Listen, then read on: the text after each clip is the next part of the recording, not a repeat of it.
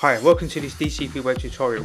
In today's tutorial, I'm going to show you how to isolate colors in a video clip using Movie Edit Pro 2022.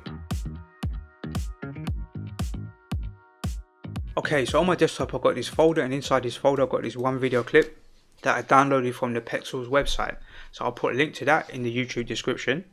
Let's go ahead and open up Movie Edit Pro. Let's go to File, New and we're going to create a new project 25 frames a second full HD at 1920 by 1080 let's click create project and we're going to drag this video clip into here. And then we need to click adjust here to uh, change the frame rate so it matches uh, the content right? So here we've got these flames and I want I want to change the color of the flames and also the, the color on this guy's jacket because it's come the flames are kind of giving uh, the color to the jacket right? The, the reflection or the, um, the, the color here.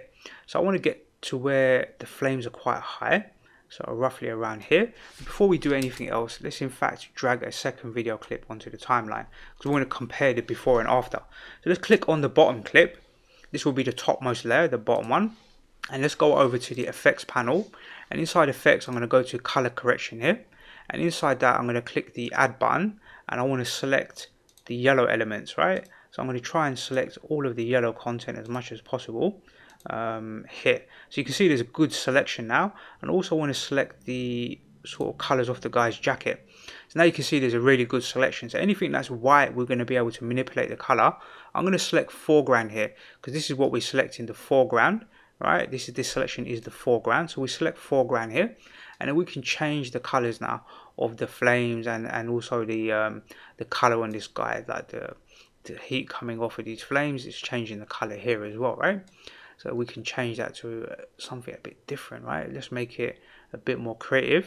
So let's go sort of like a, we can go like orange or like a purple sort of color seems to look pretty cool. Something like this, right? So now when we look at the video content, you can see the purple flames, but everything else is stayed the same. The background, the blue in the background, anything else that surrounds it um, is going to stay the same. So this is like the, the selection of the color. So we click play and now we can see that. And we can turn off that video clip by clicking on the M here. And we'll see the original one in the background. So this is the original yellow. And now we can switch it back to the purple color. So I think that looks pretty cool right? The purple. You can just play around with these settings and just try and find the right setting. Basically the angle is going to be uh, the color this color um, here. It's almost like clicking on this uh, uh, this little circle here and rotating around you can use this option here to be a bit more accurate with your rotation. That's all it is really. You can select like a purple and then the level will just move that handle in and out.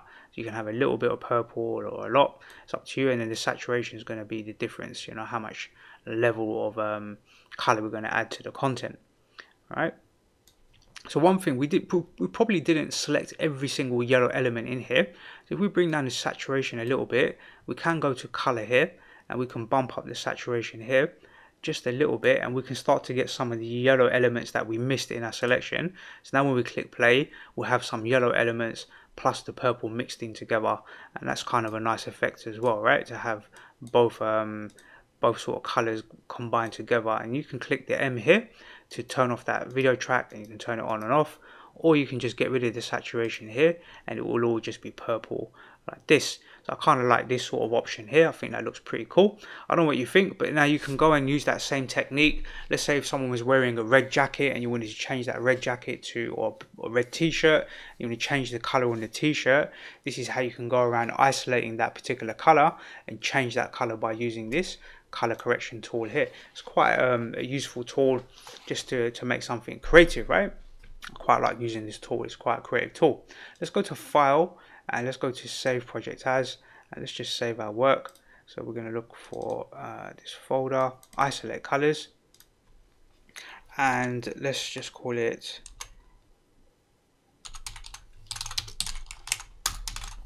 isolate colors here. So we can close down Movie Edit Pro now and this is the original make file so you can export this video content and that's probably the end of this tutorial. There's not much really else to, to explain about color isolation in movie edit pro 2022 so i hope you find this tutorial useful. It's quite a nice creative technique to use inside your video content. So if you if you're doing a lot of filming you want to do something a bit more creative this is a, a nice option for you to to be a bit more experimental in your video content Okay, don't forget to subscribe to my YouTube channel where you can access over 750 free video tutorials on a wide range of subjects. That's the end of this tutorial. I hope you find it useful and I look forward to seeing you in the next DCP web tutorial.